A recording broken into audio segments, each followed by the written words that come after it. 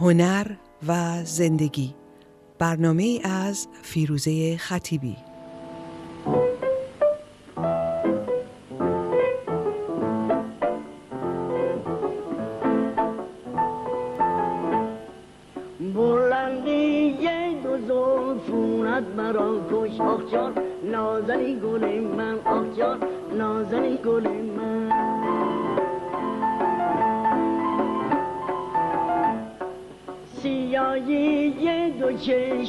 چشمونت مرا کش آخ جان نازنی گل من آخ جان نازنی گل من.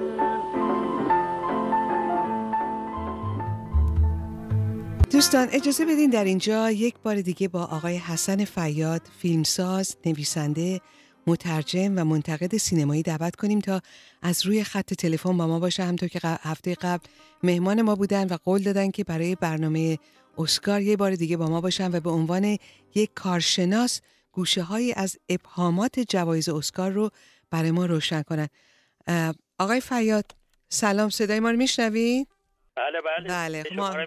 خب ما هم الان؟ صدای شما رو داریم. خیلی ممنون از اینکه دعوت ما رو دوباره قبول کردین قبول زحمت کردین. وظیفه فرهنگی بنده است. خواهش می‌کنم. خیلی ممنون از لطف شما. آقای فیاد اجازه بدین از اینجا شروع کنیم که واقعا اهدای جوایز اسکار بیش از جنبه های هنری و ارزشیابی که داره یک تاثیرات شگفتی از نظر تجارتی داره. ممکنه شما این مسئله رو یه خورده باز کنید یه مقدار توضیح بدید برای اتفاقا این واقعی که اخیرا رخ داد و وارن بتی و اون فیدانوی شرکت کرده بودن منو به یاد یکی از حرفای وارن بتی انداخت که سالها پیش در یک گفتگویی گفته بود که جوایز گلدن گلاب تفنن برای ما ولی جوایز اسکار برای ما حکم کسب و کار و تجارت داره. یعنی به این مفهوم که هر کس که جایزه اسکار می‌بره یا حتی نامزد جایزه اسکار میشه اصلا سرنوشتش از نظر حرفه‌ای دگرگون میشه و مثل طفل یک شبه ای که ره صد ساله بره تمام زندگی هنریش تغییر پیدا می‌کنه و شبیه خانم اه، هم معرفی میشه.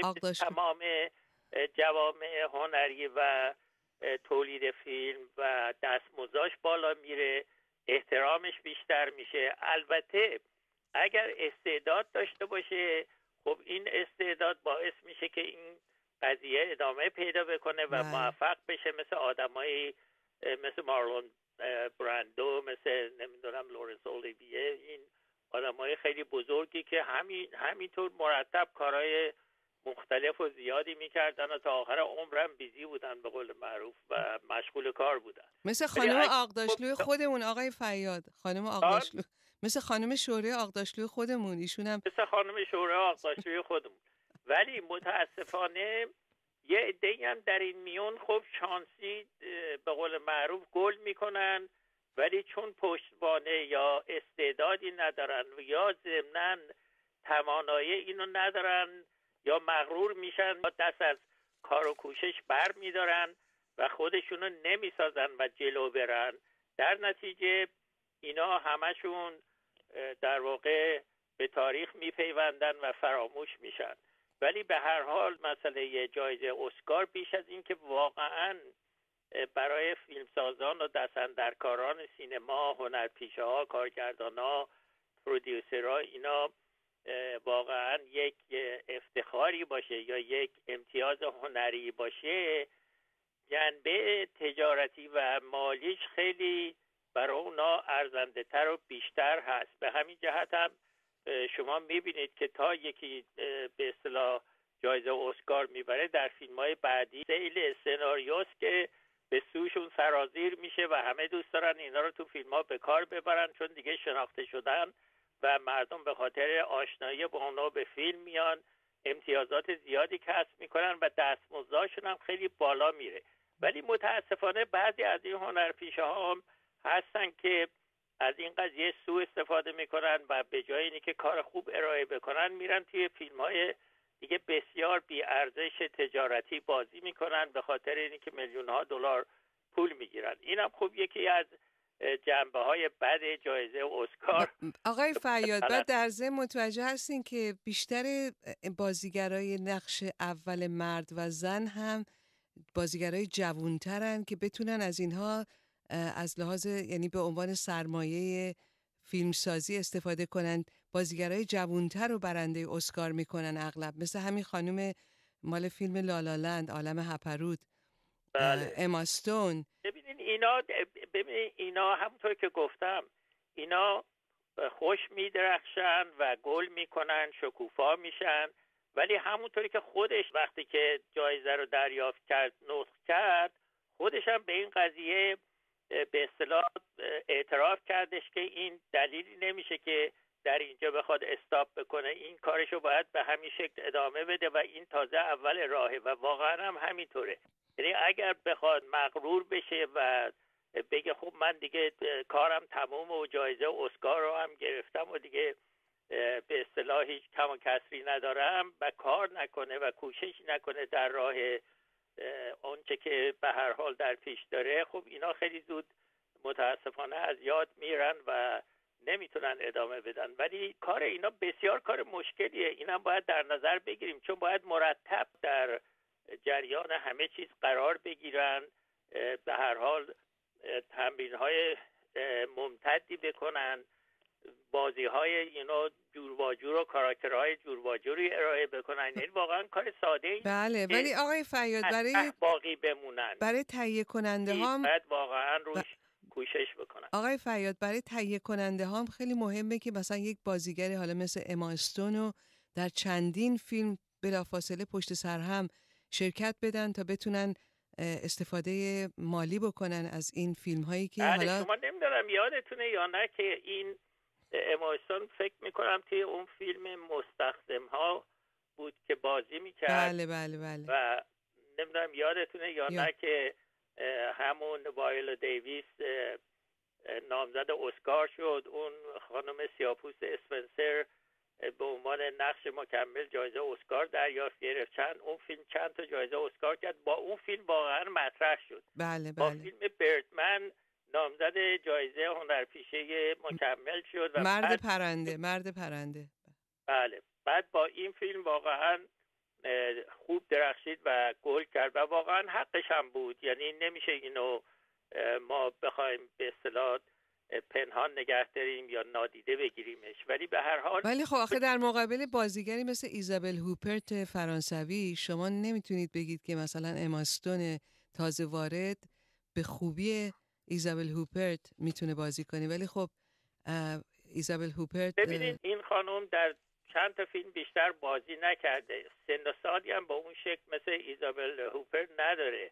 در نتیجه همینی که من گفتم یعنی این قضیه خیلی براش مهم هست که بتونه این کار رو ادامه بده با موفقیت. مثلا یکی از هنرپیشه هایی که واقعا همیشه کار کرده و تونسته در همه جا مطرح باشه در همه فیلم ها به شکلی بازی بکنه مریل استریپ که می‌بینید تا به حال 20 بار مثلا نامزد جایزه بله. بله خب بله این واقعا نشون میده که این خانم هنوز که هنوزه به کارش مسلطه و خیلی احترام برای این کار قائله و مثل خیلی از هنرپیشه ها نمیره تو این فیلم های بنجل تجارتی بازی بکنه. خب ولی باز اونم نامزد جایزه اسکار بود اونم نبرد. یعنی حقیقت اینه که اگه آدم بخواد به هر خوب حال فکر کنه ببینید دیگه الان دوره دوره جوان تراست جوان هست و به هر حال خون و فعالیت تازه هست و اینا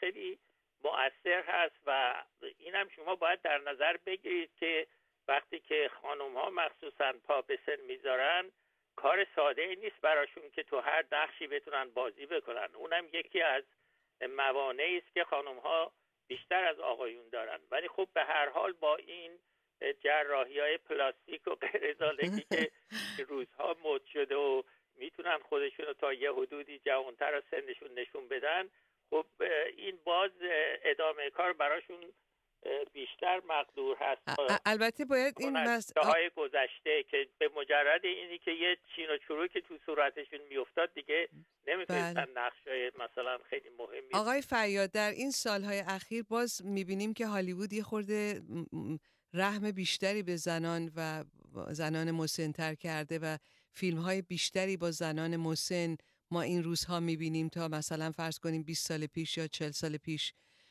این کاملا. ببینید هرچی که داستان و سینما و به هر حال این هنر پیش میره ابعادش گسترده تر میشه و به هر حال برای هنرپیشه ها برای کارگردان ها برای تهیه کننده ها هم امکانات تازه تری به وجود میاد تا زمان گذشته. یعنی امروز واقعا تکنولوژی سینما خیلی خیلی پیشرفته و به همین جهت خیلی کارها رو آسون کرده.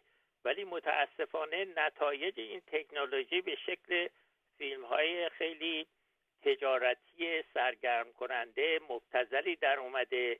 ولی و پرخرج و پرخرج. سناریو نویسی همپای تکنولوژی پیشرفت نکرده متاسفانه. بله. و همین جهت هم هست که شما می‌بینید بیشتر فیلم ها مثل میشن ایمپاسیبل و نمی‌دونم همین جنگ ستاره ها و غیر زالک بر اساس فیلم های قدیمی یا سریال های تلویزیونی و غیر زالک ساخته میشه که بتونن به هر حال یه در سرگرم کنن ولی خب اون که مسلم هست برای فیلمسازان آمریکایی فیلم خوب ساختن هدف نیست متاسفانه بله. فیلمی که پردرآمد باشه و فروش زیاد بکنه هدف. بله آقای برای اروپایی ها و, و کشورهای دیگه فیلم خوب ساختن هدفه ولی درآمد آنچنانی براشون مد نظر نیست یا بهش توجه زیادی نمی‌کنن. به همین جهت هست که درصد فیلم هاشون در یه سطح بالاتری است. بله آقای فیاد اجازه بدین؟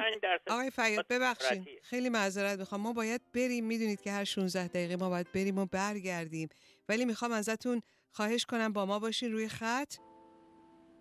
هنر و زندگی. برنامه از فیروزه خطیبی.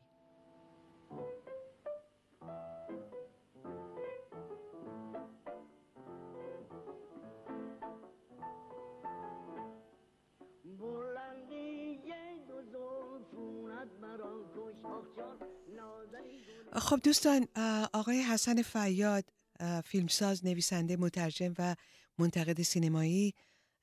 کارشناس می‌تونم بگم اسکار. ایشون سال هاست که در این زمینه مقاله می نویسن و کار می‌کنن و می‌شناسن.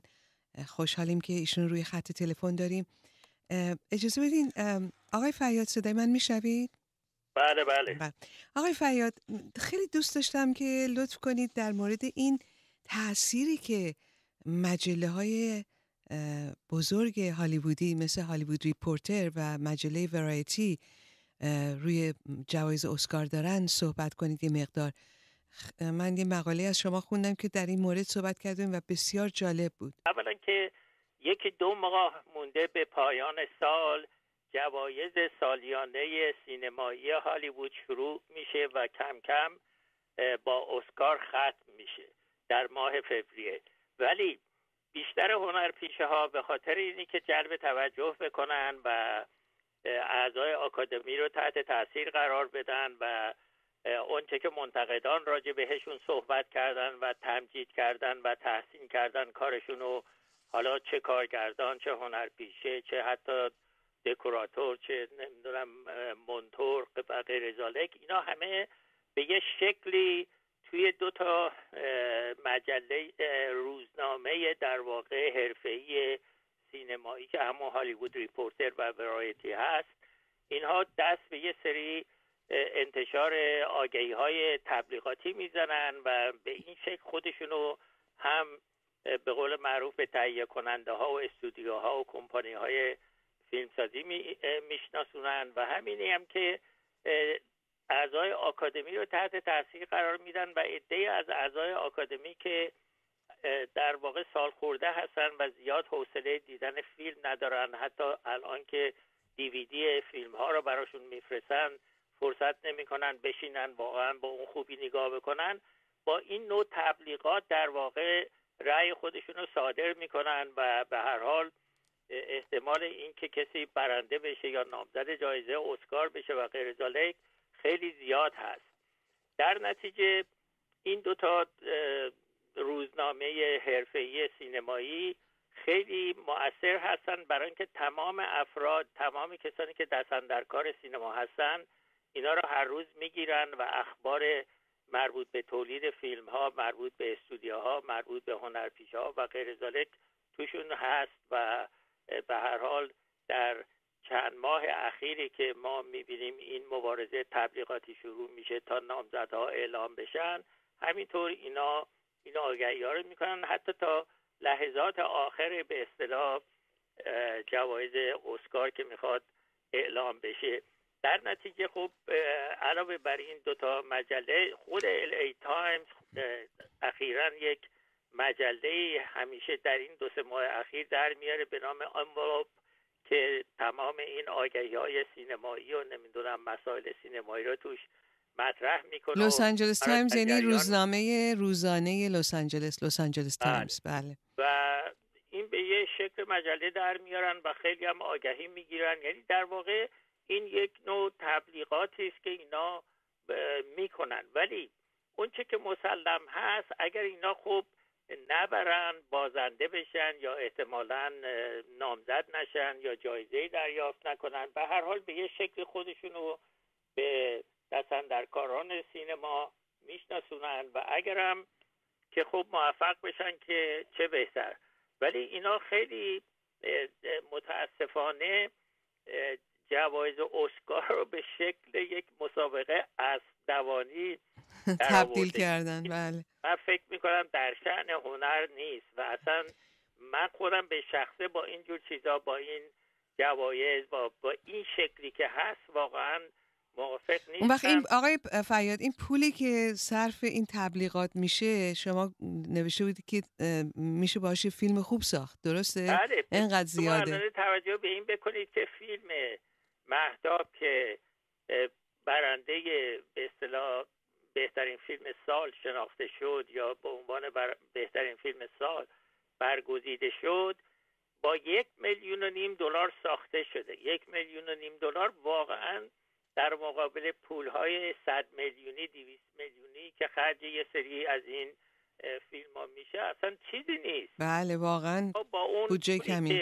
و بعدم این آگهی ها خیلی مخارج داره. یعنی به این سادگی نیستش که شما فقط مثلا 100 دلار برید 200 دلار هزاران هزار دلار صرف اینا میشه و بعدم تمام اینا به اصطلاح مرتب هر روز داره چاپ میشه. می‌دونین؟ بله. خیلی خیلی درگیری داره. مثلا اخیرا که شانس این دنزل واشنگتن یه خود بالا رفته بود که احتمال می‌رفت که اون برنده جایزه اسکار بشه من نمی‌دونم شما توجه داشتید یا نه. در خود الی تایمز مرتب صفحات بسیار یعنی چند سفر رو اختصاص می‌داد به آگهی های فیلم خودش حسارها و از این راه می‌خواست به هر حال یک توجهی جلب کنه و توجهی جلب بکنه. بله بله. در نتیجه این وقتی شما اینجوری می‌بینید اینا این ول خرجی می‌کنن خب آدم واقعا دلش میسوزه که چرا باید پول صرف اینجور چیزا بشه و نه صرف ساختن یه فیلم خوب بشه. بله. و آقای فیاد ولی یه مسئله دیگه هم هست که این جوایز اسکار فقط در داخل آمریکا باعث ایجاد ثروت بیشتر برای تهیه کننده ها و دستندرکاران و صنعت سینما نیست بلکه در خارج از آمریکا حتی چندین برابر داخل آمریکا تاثیر می‌ذاره رو آدمایی که برن فیلم ها رو ببینن برای اینکه جایزه بله، اسکار خودش بسیار تبلیغ میگم جهانی و البته ببینید برای هنرپیشه ها در خود آمریکا این تاثیر رو داره. ولی برای فیلم ها به طور کلی و استودیوهایی که فیلم ها رو به هر حال ساختن و سرمایه گذاری کردن اینا واقعا نه تنها در خود آمریکا بلکه در سراسر دنیا هم فروش فیلمشون بالا میره هم توجه سینما رو یا علاقمندان به سینما رو به هر حال چی میگین توجهشون رو جلب می‌کنن و اینا میرن فیلم رو می‌بینن و از این راه خوب درآمدشون اصلا به کل زیر رو میشه. مثلا فیلم جنرال پاتون در سال 1970 که کمپانی فوکس قرن بیستم ساخته بودش.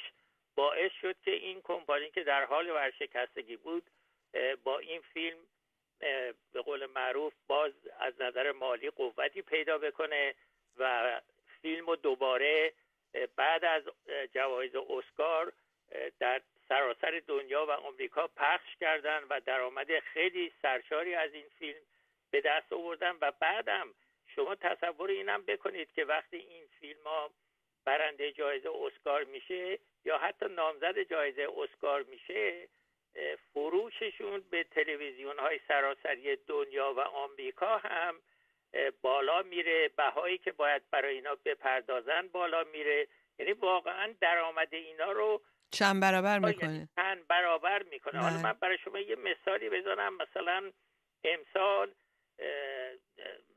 شایع شده بودش که لایون گیت یعنی فیلم آنچنان پردرآمدی نساخته و نتونسته به اصطلاح مثل گذشته درآمد سرشاری داشته باشه و اینا. ولی همین فیلم لالالند بله. من عالم رویاها اسمش گذاشتم چون واقعا برازنده فیلم بیشتره تا عالم هپروت بله. عالم هپروت خورده این فیلم حالت الان بیش از 350 میلیون در سراسر دنیا در آمریکا و سراسر دنیا طبق همین آماری که خود این ورایتی و اینا منتشر کردن این درآمد داشته و الان هم که شیش جایزه برده بی تردید به درآمدش افسوده که میشه هیچ. برای تلویزیون ها و برای دیویدی ها یعنی دیویدی هم شده یکی دیگه از منابع درآمد فیلم ها این هم خودش باز یکی دیگه از اوایدی است که یا نتفلیکس یا این نداشته. سایت های سینمایی نتفلیکس بله. و آمازون یعنی اینا خیلی اینا در واقع یعنی واقعا شگفت انگیز حیرت انگیز این قضیه به دلیل اینی که میگم یک تبلیغات سراسری و جهانی میشه برای این به اصطلاح فیلم ها بله شما در مورد اینکه اعلام فهرست نامزدهای جوایز اسکار امسال مثل هر سال عقاید ضد و نقیزی بین دوستداران و دستندرکاران سینما برانگیخت. یه خورده صحبت کنید که همه پیش بینی می‌کردن که عالم رویاها یا عالم هپروت لالالند با نامزدی 14 جایزه اسکار در واقع رکورد فیلم های تایتانیک و همه چیز درباره ایو رو شکسته یا به اونها پیوسته و به اون رکورد پیوسته ولی رکورد رو نتونسته بشکنه و اتفاقا برای فیلمی که خب دومین فیلم یک کارگردان جوان هست. خیلی خوبه. 14 جایزه بزرگی بوده. یعنی اینو نمیشه انکار کرد که یه کارگردان سی و دو ساله. فیلم قبلیش هم خیلی با فیلم موفقی بود و ویپلش بله. برد. اگه یادتون باشه ویپلش بله. و به همین جهت من فکر می‌کنم که این فیلم هم از وقتی که 14 تا جایزه اسکار یعنی نامزد 14 جایزه اسکار شد همه می‌گفتن دیگه این تمام جوایز رو مثل گلدن گلاب درو می‌کنه و نمی‌دونم بهترین فیلم شناخته. اون وقت بعدم یه نکته دیگه هم باید توجه بکنید که این فیلم حتی جایزه اتحادیه تهیه کننده ها رو به عنوان بهترین فیلم سال برده بود. جایزه بهترین کارگردان اتحادیه کارگردان های آمریکایی رو برده بود و خیلی از این بابت واقعا برنده قطعی شناخته می‌شد. ولی متاسفانه یا خوشبختانه این جایزه بهترین فیلم به فیلم محتاب تعلق گرفت که به من یک فیلم بسیار بسیار زیبایی است از نظر پرداختن به مسئله سیاه‌پوستان و مسائل جنسی هویت اعتیاد خیلی از مسائلی که ما واقعا امروزه در جامعه باهاش درگیر هستیم. در این فیلم به نحو بسیار جالبی با لطافت و ظرافت خاصی مطرح شده. آقای فریاد باید اینجا من یک آکولات باز کنم بگم که دوستان شنونده بدونن که آقای حسن فریاد مترجم اشعار لنگستون هیوز هستند شاعر بسیار معروف سیاه پوست آمریکایی.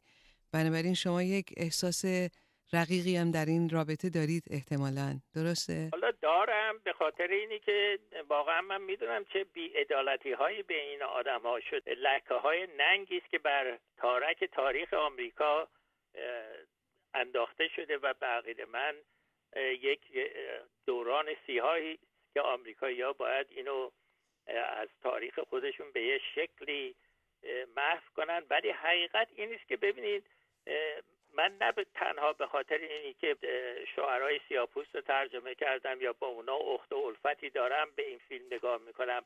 این فیلم فقط به وسیله یک سیاهپوست می‌تونه ساخته بشه که خوشبختانه کارگردان سیاهپوست نماشنامه ای که بر اساسش ساخته شده به وسیله سیاهپوست نوشته شده. یعنی درک موقعیت اینها رو در جامعه واقعا هیچ سفید پوستی نمی‌تونست به این مسئله به این شکل خوب و با این ظرافت بپردازه و اونچنان که واقعیت داره زندگی اینها و هویت اینها اینا رو به تصویر بکشه. خب این یک کار بزرگی است که یک باز یک کارگردان سی هفت ساله اومده این کار کرده. بله. ما می‌دونید که راجع به سیاه پوستا مسائل نژادی فیلم های مختلفی ساخته شده. اکثرا هم به وسیله خود سفید پوستا ساختن.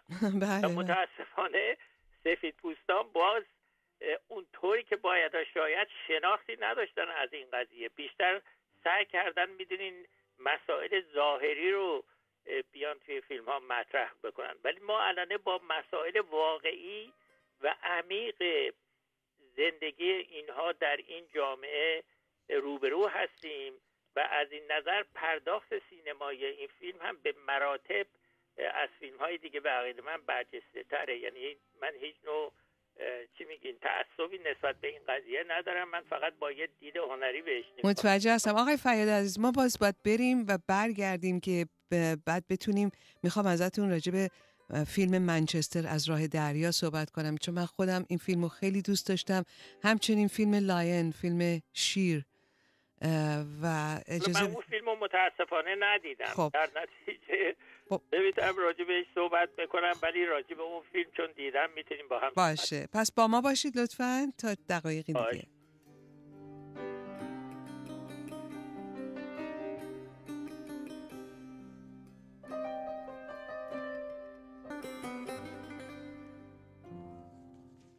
خب آقای حسن فریاد با ما هستن روی خط تلفن. کارشناس سینمایی منتقد مترجم نویسنده فیلمساز. آقای فریاد می‌خوام خیلی سریع از منچستر از راه دریا بگذریم و برسیم به فروشنده و آقای اسخر فرهادی. من از این فیلم منچستر از راه دریا خیلی خوشم آمد. شما چی فکر کردید؟ والا منم به همچنین منتها خب یه خورده فیلم غمانگیزی بود. بله بله. و آدم واقعا خیلی تحت تاثیر احساسات و عواطف اون بازیگر خوب قرار می‌گیره و فیلم هم خوشبختانه به وسیله اون آقایی که نمایشنامه نویسم هست خیلی قشنگ نوشته شده, بود, و بله. حقش هم بود که اون جایزه رو بگیره. برای اینکه که از قبل هم در واقع تمام این رقابت ها میان سه تا فیلم بود. یکیش لالالند بود یکیش مهداب بود یکیش هم فیلم منچستر. همین منچستر از راه دریا بود که بقید من جوایز اسکار بین اینا خیلی خوب تقسیم شد. یعنی جوایز مم. اصلی اسکار. یعنی این بله. فیلم هم جایزه سناریوی اوریجینال رو گرفت و هم بهترین بازیگر مرد و در نقش اول. آقای فریاد این فیلم نه تنها زندگی تراژیک طبقه کارگر رو بررسی می‌کنه ولی به نظر من اومد که درست مثل فیلم مهداب که در مورد تخصصی در مورد سیاه‌پوستا نوشته شده این فیلم هم تخصصی درباره جایگاه مرد سفید پوست امروز در آمریکا نوشته شده به نظر من. من کاملا درست. حرفتون و بله. من خیلی دقیق و خیلی اونم فیلم به اصطلاح هم خوشساختی بود و هم روی شخصیت ها روی ریزکاری های داستان پردازی و غیر خیلی خوب عمل آورده بود داستان رو و به من اونم یکی از فیلم های خوب این سالهای اخیر بود. بله آقای فیاد حالا باید بریم سراغ فیلم فروشنده و آقای اسقر فرهادی و این برنده شدن عجیب و غریب به نظر من چون درباره الی و جدای نادر از به نظر من دو تا فیلم فوق العاده خوب بودن.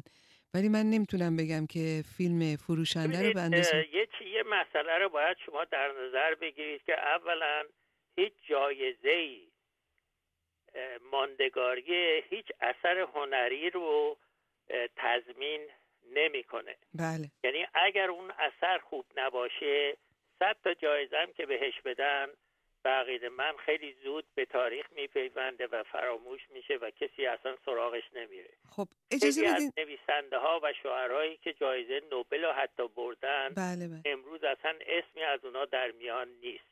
در واقع تمام این جایزه ها مخصوصا در سالهای اخیر در چند دهه اخیر بر اساس مسلحت های سیاسی روز به آدم ها داده شده به ها داده شده.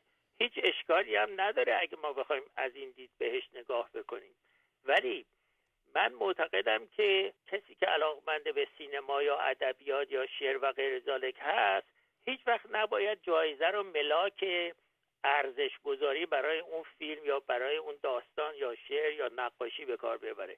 اینا به عقید من یک نوع تبلیغاتی است برای مطرح کردن هنرمندان. خیلی هم ممکنه خوب باشه ولی متاسفانه تاثیر بدش در این هستش که یه عده که واقعا وارد نیستم فکر می‌کنم خب چون این فیلم جایزه برده پس بهترین فیلم در دنیاست یا بهترین بله. کار هنری مثلا عالم دنیاست. خب اینا نیست متاسفانه. ببینید یعنی هیچ هیچ چیزی شما نمی‌تونید تصور بکنید که با گرفتن جایزه می‌تونه به زندگی خودش ادامه بده. اگر خوب نباشه بازی روزگار خیلی بیعدالت و خیلی سختگیره در این مورد و خیلی زود فراموش میشه و از میان میره. خب حالا می‌خوام ازتون سوال کنم آقای فیاد عزیز. می‌خوام ازتون با اجازتون بپرسم که ببینید مثلا سن... با سناریوی این فیلم شروع کنیم که سناریویی که ایرادهای بسیاری میشه بهش گرفت. به خاطر اینکه یک بخش اول فیلم تا موقعی که پیرمرد به اصطلاح یا به نظر می‌رسه که تجاوز می‌کنه به زن نقش اول فیلم خانم رعنا این پیش درآمدی که در این سناریو آمده بعدها که آدم داستان اصلی فیلم رو می‌فهمه که سر این تجاوز یا تعدیه هیچ چیزی رو هیچ کاری رو برای آدم انجام نمیده اون قسمت اول فیلم. شما چی فکر می‌کنین در این مورد؟ ببینید شما باید به خود فرهادی به شکل یه آدمی نگاه بکنید که از تئاتر آمده تحت تاثیر تئاتر هست و, و اکثر فیلمهاش غیر درباره الی بیشتر در یه آپارتمان و یا خانه میگذره و در این فیلم هم اگر شما توجه کرده باشید می‌بینید کلیه حوادث در سه تا آپارتمان میگذره.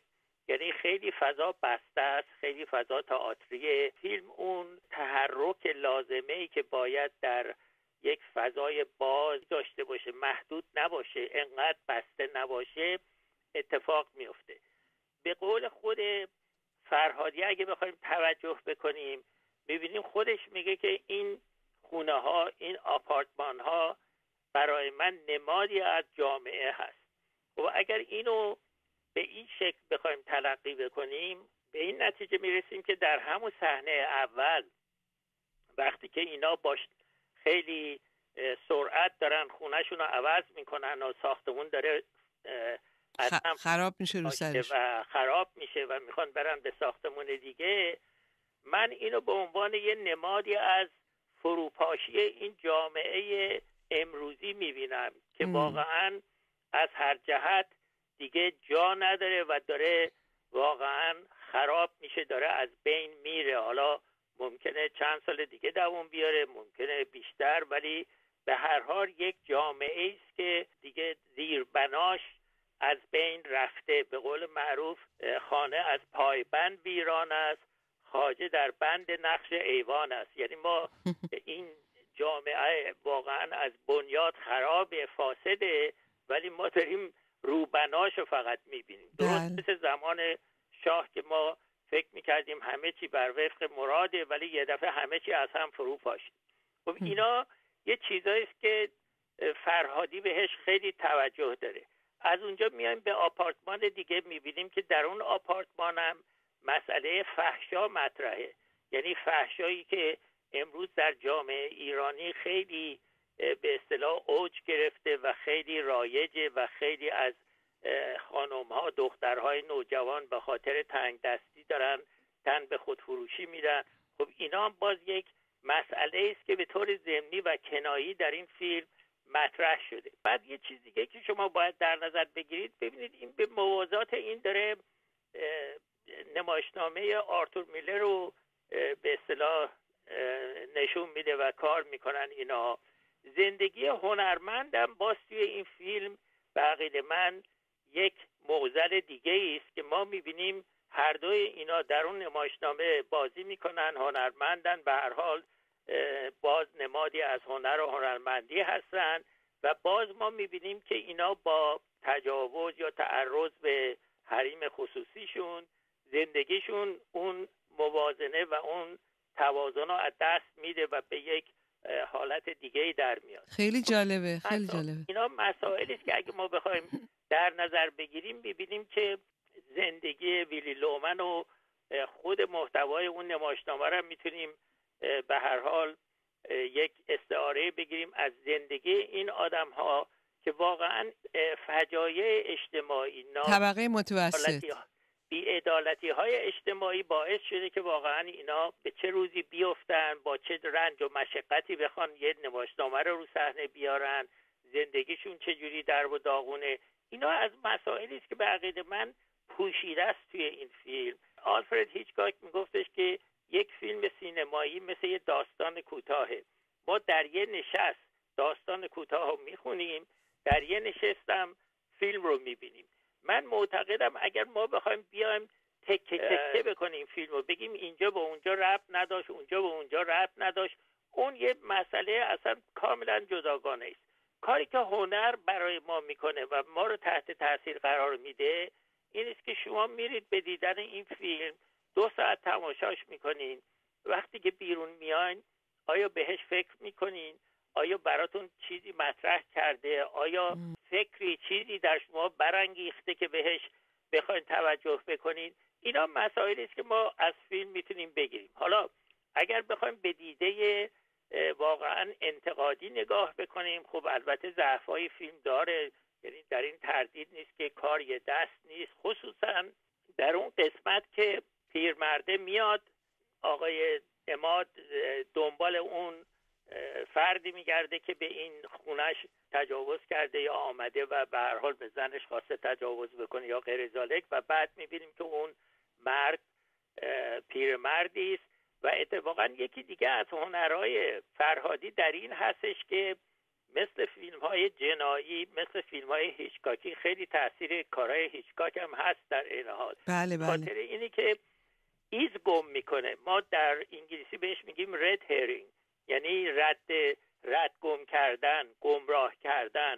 مثلا شما اگه توجه بکنید وقتی که پیرمرده میادش توی اون آپارتمان صحبت از این نیست که اون دامادش در واقع این, این کار کرده. بله. انجام داده. یعنی در واقع فرهادی خیلی زیرکانه اینو به یه شکلی اطلاعات از ما پوشیده نگه میداره.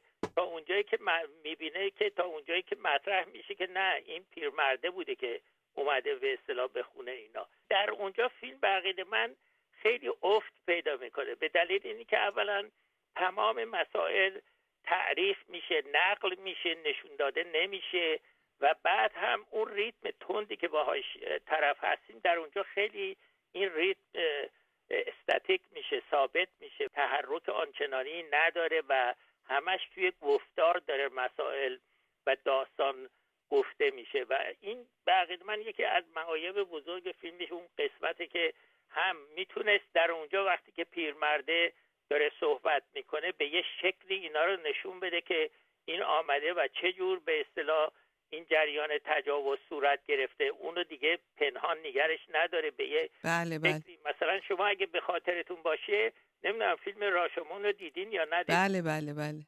خب در فیلم راشمون قتلی که صورت می‌گیره از دید چهار نفر گفته گفته میشه بله چهار نفر یا بله. پنج نفر گفته میشه. هر کدوم هم یه جور میگن. هر کدوم یه جور میگن. بله. می‌دونید اینجا این خیلی خوب بود. اگر می‌تونست البته خوب میگم امکانات فنی هم باید در نظر گرفت و این مسائل هم خیلی خوب مهمه که در ایران هنوز به اون درجه ما نرسیدیم که بتونیم تمام این این چیزها رو به اصطلاح بتونیم به تصویر بکشیم. با فاسی کارگردان اون فیلم کاباره موزیکال کاباره یه حرف خیلی خوبی می‌زد.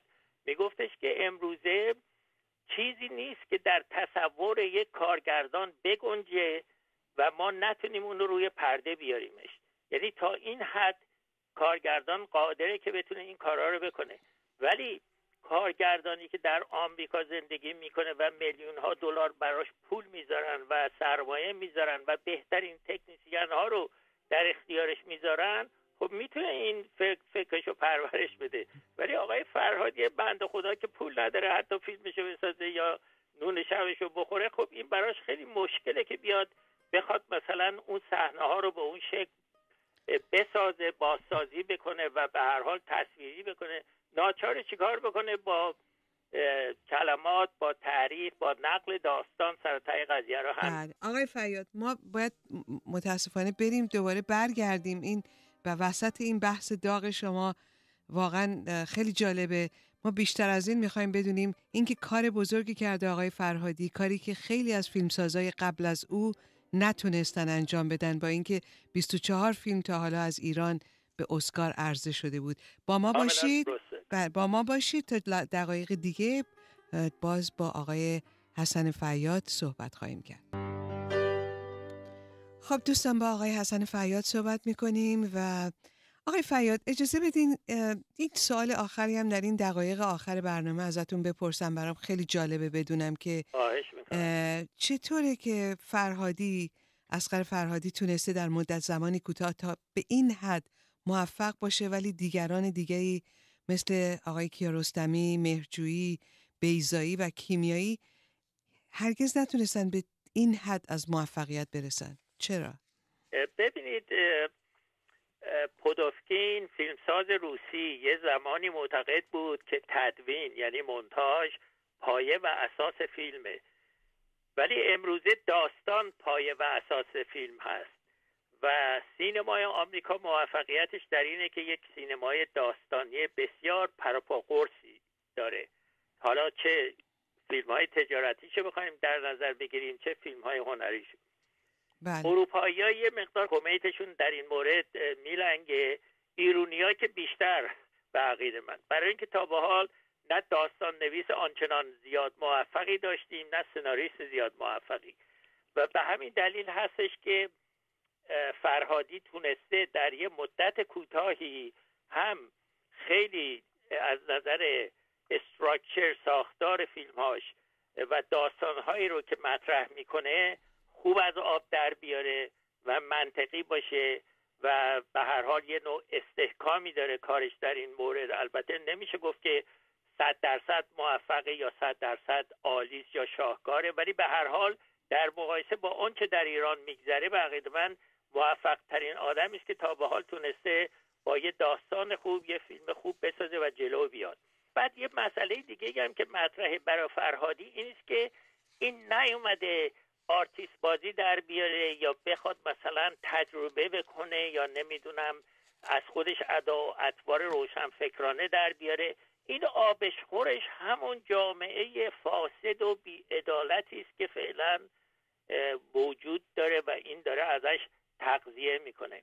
و این خیلی مهم خیلی ما جالبه. یعنی داستانهاش هم از بطن همین جامعه به وجود اومده. از بطن همین جامعه ساخته و پرداخته شده. حالا بر بگردیم به فیلمسازایی که شما اسپردید آقای مرجویی اومد با فیلم گاف که داستانش مال ساعدی بود مطرح شد. فیلم خوبی هم بود نسبت به سینمای اون موقع ایران و هنوزم من فکر می‌کنم فیلمی است که می‌تونیم ببینیم و ازش لذت ببریم. گرچه یه مقدار اونم تئاتری است و بر اساس اون تئاتری که نصیریان و انتظامی بازی می‌کردن ساخته شده و غیر ذالک. ولی باز در مقایسه با سینمای ایران و یه کاری که اون زمان انجام گرفته فیلم خوبی است.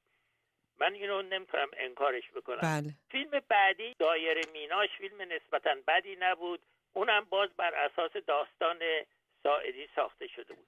ولی این با موفقیتی که پیدا کرد اومد اولین کاری که کرد تقلید کرد از فلینی و نمی‌دونم آرتیست بازی و نمی‌دونم فیلم چی رو ساخت. فیلم هامونش که اصلا یک فیلم بی سراتایی از اون هشت و نیم فلینی بود. اصلا رفت دیگه دنبال یه سری چیزای دیگه و نشون داد که اگر داستان خوبی در اختیار نداشته باشه اصلا نمی‌تونه. یعنی شما خودتون یه چیزی راجع به فیلم آقای مقصودلو مطرح کردید گفتید ایشون خیلی زحمت کشیده خیلی فیلم ها رو اوورده سرهم کرده فلان ولی خلاقیتی تو کارش نیست. حالا من البته من اینو از قول خودم نگفتم. اینو از قول یک یکی از تماشاگران من نمی‌دونم. به هر حال شما این نقل قولی که کردین من می‌خوام اینو بگم. که در واقع مسئله خلاقیت خیلی مهمه تو کار سینما. یعنی شما اگر ندونید با داستانی که دارید فیلم می‌کنید خلاقیتی توش باشه به هر حال یک جاذبه ای توش باشه ما رو جذب بکنه یه چیزی خب این با شکست روبرو میشه. در این چند سال ایشون به جای اینی که پیش بره همه فیلماش در واقع پس رفته. یعنی از آقای مهرجویی. با اون فیلماش هم خیلی کاراش ضعیفه. منظورتون آقای مهرجوییه دیگه نه؟ منظورتون آقای مهرجوییه مهرجوییه بله. بله. حالا میایم به آقای بیزایی می‌رسیم. آقای بیزایی هم بعد رگبار رو ساخت. فیلم بسیار جالبی بود که از بطن همون اجتماع فاسد اون موقع ریشه گرفته بود, و بله. گرفته شده بود. درگیری یه معلم کارمند مدرسه بود که اصلا تو هیچ فیلمی ما ندیده بودیم. عاشق دختری میشه قصابه به هر حال با اون دختر نظر داره. یعنی داستان واقعا خیلی گیرا بود و خیلی خوب بقیده من اینو در آورده بود. گرچه البته یه مقدار کجروی های توش مسائل فرعی هم قاطی کرده بود که لطمه زده بود به فیلم ولی به هر حال فیلم بسیار جالبی بود بقیده من. خب ایشون اومد بعدا چیکار کرد؟ رفت سراغ کروساوا قریب و مه و ساخت نمی‌دونم فیلم های دیگه به تقلید از اون ساخت. خب این باز دوره راه خودش رو گم کرد. فیلم کلاقش به قول خود نادرپور رونوشتی بود نسخه بود از فیلم کلاق کلوزو. خب اینا ببینید هی خواستن خودشون رو با اروپایی ها مقایسه بکنن یا با نمی‌دونم فیلمسازهای پیشرو یا نمی‌دونم روشن فکر مقایسه کنن. خب نه آقای کیارستمی چطور؟ آقای فیاد آقای کیارستمی هم من با اینکه اصلا به کار سینماییش اعتقادی ندارم به اون شکل ولی دو تا فیلم خوب بقید من ساخته که داستانش از بطن اجتماع گرفته شده. یکی مسافره که من دیدم خیلی خوش آمد. یکی گزارشی که با تمام ضعفایی که داره یک فیلم, فیلم بسیار بسیار مهمی از نظر اوضاع احوال اجتماع باز اون زمان بود. و حتی توی این فیلم برای اولین بار زن و شوهری رو نشون می‌داد که توی رخت خواب دارن معاشقه می‌کنن. یعنی عشق ورزی می‌کنن. از نظر داستانی پرداخته بود واقعا به یه مسئله بسیار حاد اجتماعی اون زمان. ولی بعد از اون چیکار کرد؟ اومد به تقلید از گودار و نمی‌دونم اون جان روش و دیگران و اینا کار خودش خراب کرد. اصلا اون فیلم تعم گیلاسش که به من اصلا یه چیز بی ربطیه. فیلم شیرینش همینجور. خب خیلی شنوندگان امیدوارم ناراحت نشن من کار نسبتا جالبی بود. اون خانه دوست کجا هست بودش. بله. بقیه اومد فیلم نمی‌دونم اون کاپی چی چی بود؟ زیر درختان زیتون هم خیلی خوب بود. آقای فیاد زیر درختان زیتون زیر درختان زیتون هم خیلی فیلم خوبی بود. اونم با توش تقلید از گدار بود. هی یارو می‌رفت بالا. ده بار هی باز دوره میومد پایین. به قول آقای نادرپور اصلا ما رو کلافه کرده بود. خب چه خوب شد یاد آقای نادرپور هم کردیم امشب. ببینین یه چیزی که هست باید فیلم در کل ما رو جذب بکنه. نه اینه که ما بیایم تیکه تیکه بهش نگاه بکنیم. بله. اگه بخوایم اونجوری نگاه بکنیم بقیده من اصلا اون جامعیت و فیلم اگه نداشته باشه اصلا بر من بی تاثیره حالا برای شما ممکنه تأثیری داشته باشه. کیمیایی هم باید فیلم قیصر رو ساخت ولی چیکار کرد؟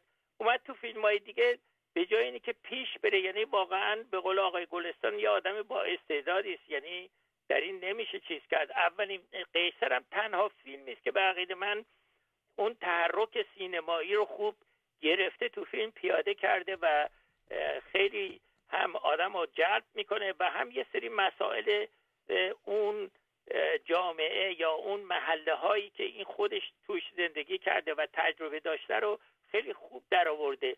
ولی فیلم های بعدیش هی اومد به اصطلاح باز مسئله انتقام جویی و غیره. یعنی نتونست از اون انتقام جویی دور بشه.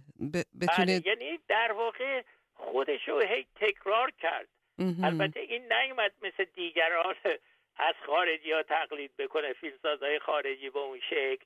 ولی باز آمد همون مسائل رو هی به یه شکلی در آورد یعنی یه یعنی کارهای بعدیش دیگه یه سری کارهای فرمولی شده بود بله. حتی شما داشت آکلش هم که می‌بینید می‌بینید که باز اونم حالت انتقام جویانه داره و حتی در آخر به جای اینی که به اصطلاح چی میگن داشت آکل میمیره اون باز دوباره میاد اون یکی اسم خوبی داره اونو می‌کشه اصلا خیلی شلوغش کرده بود خیلی بقید من داستان رو خراب کرده بود داستان هدایت رو.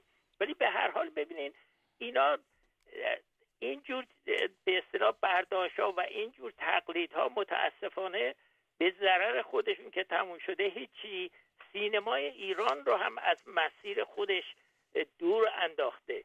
ما امروز ببینید اگر یه فیلمی میاد به فستیوال ها تحسین میشه اگر یه فیلمی میاد مثل فرهادی به اصطلاح جایزه می‌گیره مورد توجه واقع میشه.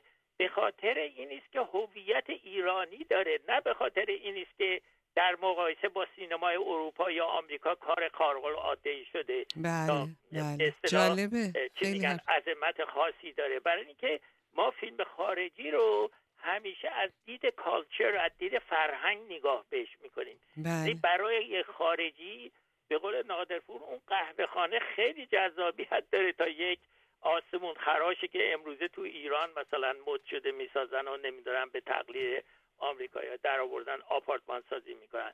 یعنی مسائل اینجوری فرهنگیه که واقعا باعث میشه. یعنی الان فیلم همین فیلمی که ما صحبتش کردیم دست فروش به خاطر اینکه که این اومده زندگی یه فروشنده منظورتونه. فروشنده. چیز خود به اصطلاح نمایشنامه آرتور مرر مقایسه کرده به موازات اون یه حرفایی بزنه و اینی هم که دیگه تراژدی مثل زمان شکسپیر و سوفوکل و اینا سرنوشت نیست که مداخله بکنه توی وضع انسان. فجایع اجتماعی است که باعث مداخله در زندگی آدم ها میشه و باعث میشه که به هر حال دچار رنج و مصیبت و بیعدالتی های جامعه بشن. و به همین جهت هم هستش که خوب یخش گرفته و بهش هم توجه میشه. آقای فریاد یک دنیا متشکر از این همه توضیحات جالب شما. واقعا لطف کردید این وقت شب تشریف آوردین روی خط تلفن ما و این اطلاعات رو دادید. امیدوارم که باز هم بتونیم از این اطلاعات فراوون شما استفاده کنیم در رابطه با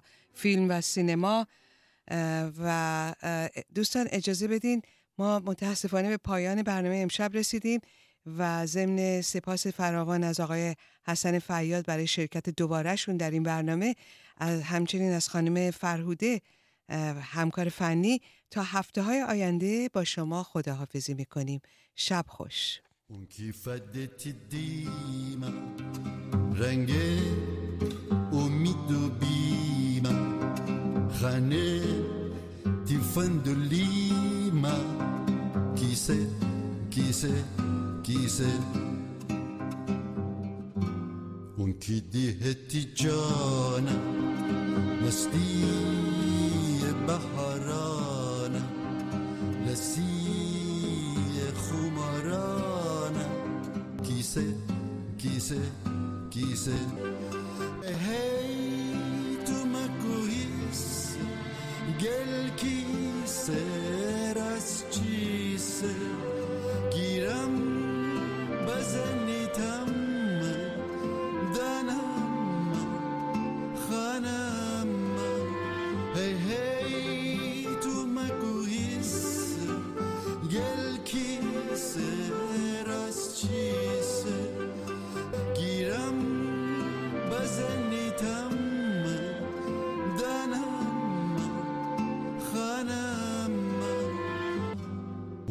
فدت الديمة رنگه